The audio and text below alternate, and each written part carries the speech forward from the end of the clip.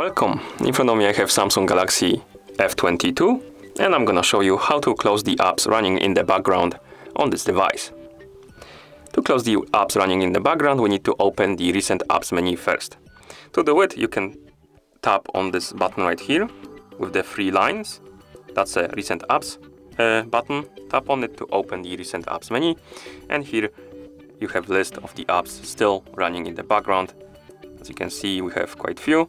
You can close one for example by swiping up on it like that or you can uh, tap close all button to close them all at the same time like this and that's how you close the apps running in the background on this device. Thank you for watching. If you found this video helpful, please consider subscribing to our channel and leaving the like on the video.